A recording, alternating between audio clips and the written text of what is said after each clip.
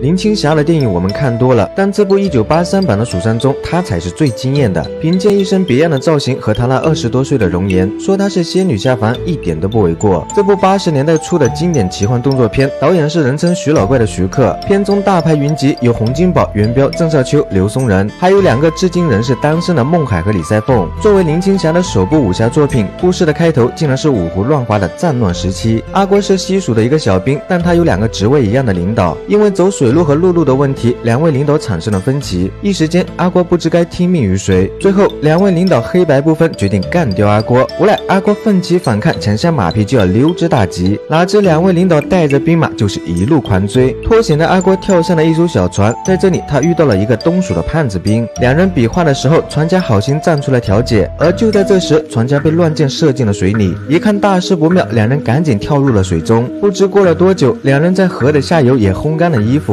可谓不打不相识。原来阿郭跟胖子兵是隔壁村的老乡，两人在树林寒暄的时候，不巧又碰上了敌兵。敌兵不止一波，随后就变成了一场混战。他俩假装比划，边打边退，准备趁机溜走。可胖子兵无意中干掉了一个绿色衣服的首领，绿色小兵准备上来报仇，黄色小兵却拦住了他们。一看胖子兵穿着红色的衣服，于是他们都把目标转向了胖子兵。迫于无奈，阿郭拉着胖子兵躺在地上，准备瞒天过海。哪知一边有人早就用了这个办法，无奈他俩只好一刀一个，然后拔腿就跑。这一跑，两人就来到了悬崖的边上，一个不小心，阿郭就被胖子兵给推下了山崖。幸好有主角光环的加持，阿郭才得以平安落地。在崖底，阿郭发现了一座古庙，生火取暖。阿郭还将胖子兵的葫芦给倒了个底朝天。突然，阿郭听见了异响，他赶紧站了起来。一群妖怪飞来飞去，阿郭被吓了一跳。转眼这里又来了一个高人，宝剑追着妖怪，几下就收拾了干净。阿郭拦下高人一看，原来是南海门派的楚留香大侠。突然，几只血鸭又冒了出来，一看阿瓜就要惨遭毒手，楚留香赶紧亮出了宝剑。也就在这时，两个昆仑派的和尚也来到了这里。掌门是松哥，他的徒弟叫孟海，能在这里相聚，都是因为十年前的一个约定。约定的目的只有一个，那就是对付魔教。当然，这不关阿郭的事情。不过松哥的性子有点高傲，他不想和楚留香合作。进到古庙里面，于是他俩就各打各的。魔教的护法一看他俩没把自己放在眼里，于是就口出了狂言。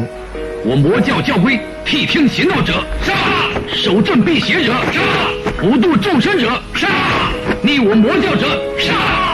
既然魔教这么嚣张，楚留香和松哥也只好送他们一程。几番较量之后，魔教的人士全都领了泡面，但是血魔却突然冒了出来，而且他还吸走了楚留香和松哥的武器。松哥想要拿回自己的铜锣，不料他却中了血魔的诡计。趁这机会，楚留香也收回了自己的宝剑，他还带着大家躲到了一个安全的地方。知道松哥中了血魔的剧毒，楚留香就准备要替他疗伤。阿郭在放风的时候，不料看到了血魔的身影，好在这时又出现了高人，阿郭才。躲过了一劫。这个高人就是峨眉派的开山老祖长眉。面对邪恶的血魔，长眉的脾气也是相当的暴躁。他让阿郭拎起了两块板砖，难道两块板砖就能拍死血魔不成？这当然不行。想要除魔，还得借用长眉的法宝。可是他的昊天镜只能降住血魔七八五十六减七天，要想彻底干掉血魔，就得依靠紫青双剑的威力。遗憾的是，十八年前李一奇已经将他们带去了天刀峰的天外天洞内洞。这个艰巨的任务自然落到了阿郭的。身上，于是阿瓜就把这件事情告诉了楚留香几人。去天刀峰之前，楚留香决定要先上一趟瑶池仙堡，因为只有这里的堡主才能治好松哥身上的剧毒。不巧的是，仙堡的大师姐却拦住了他们。瑶池仙堡中有一个非常奇葩的规定，只有在每月燃烧一次的冰焰熄灭之前见到堡主，这样堡主才会悉力以赴的救治病人。现在冰焰即将熄灭，但堡主仍未现身。为了救醒松哥，楚留香不惜用自己的元气来续燃冰焰，或许就是他的侠肝义胆感动了堡主，石门大开，堡主从里面飘了出来。可阿郭却把他当成了妖女，结果两方人马就产生了误会。一番打斗之后，楚留香也被冰住了双手。好不容易见到了堡主，这下堡主又回去了石屋。刚才的意外也让阿郭身负了重伤。为了救醒阿郭，楚留香决定打开他的任督二脉。就这样，阿郭也得到了楚留香的一些功力。然而松哥却突然发作，他变成了一个妖魔。幸好堡主及时出现，用他的神功才降服了松哥。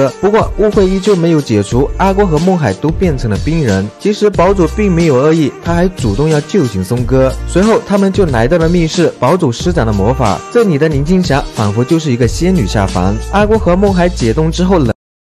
抖音，这个女人太仙了。她也正是林青霞在一九八三年在新蜀山剑侠中的堡主形象，即使现在再来看，也依然觉得好美。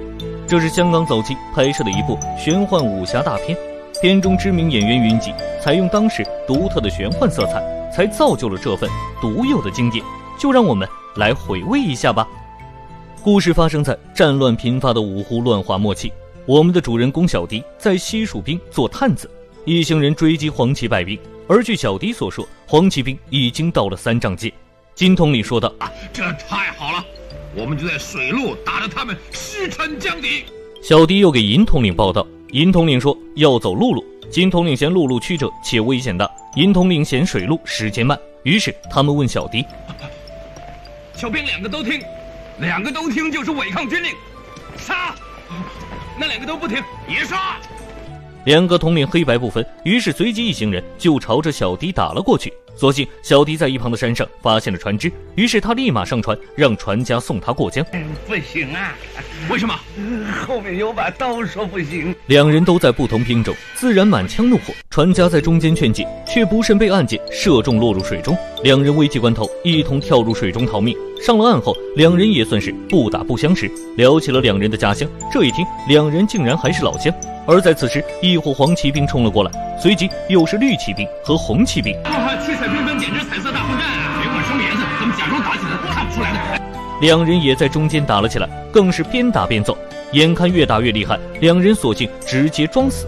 可一看旁边的两人也在装死，于是两人一刀一个，赶忙逃命。眼前竟是到了悬崖，胖子兵不慎，竟把小迪推下了悬崖。所幸有主角光环加持，小迪被树枝缠上。到了山地，而在这里，他也发现竟有一处山洞，天上打起了雷，小迪也赶忙进入山洞躲雨。洞中是铜陵法器以及巨大的雕像，小迪生了火堆，喝上酒。而此时，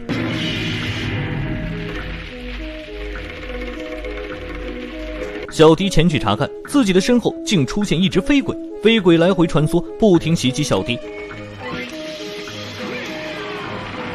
正当小迪被困之时，洞外一人竟瞬间消灭了飞鬼。此人是南海派剑客丁隐。救完人后，便很快消失。小迪便开始四处寻找，却不慎踏入了一所魔窟，也被丁隐再次相救。而在这时，满天的血压飞过，九重天上显星辰。这人正是丁隐的师弟小茹，两人天生就不和，真是死性不改，我行我素，各走各路。一真。什么？童子啊！大侠，我们入古帐，是入古刹。于是两人各自前去对付魔王。几人到了魔窟，魔教护法很快出现。魔教看到两人不和，更是越发猖獗。我魔教教规：谛听邪道者杀，守正辟邪者杀，普度众生者杀，逆我魔教者杀。众人随即开战。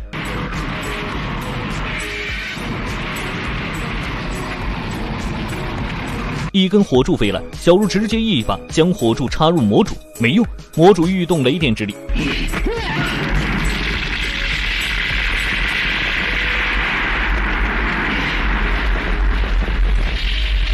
众人终于不敌，于是赶忙逃出魔窟。逃出后的众人又是大吵一架，然后兵分两路，留下小迪独自一人。小迪一阵大骂，几人也突然全部回来。据称，他们的武器被吸住了，眼前是一道血河。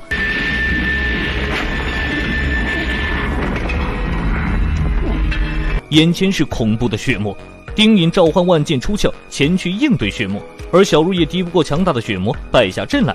丁隐也赶忙趁机收回宝剑，几人又赶忙逃出。此时的小如受了重伤，丁隐运动功法来化解血魔的血毒，小迪则在门口来放哨。小迪也再次看到了血魔，血魔披着床单过来，吓得小迪赶紧逃命。眼看跑不动，于是小迪扔了块石头打血魔，居然还真有用。石头化成一个老者，老者也追着血魔而去。老人是峨眉老祖长眉，而此时的小茹中毒已深。这些所谓正道人士根基未深，所以让我血魔乘虚而入。这个和尚中了我的血魔毒，在十天之内，他就会亵渎攻心，走火入魔。到那个时候，就会成为我血魔的替身。眼看血魔如此嚣张，长眉救回小茹，又用法器昊天镜暂时镇压血魔，更是说道：“抖音。”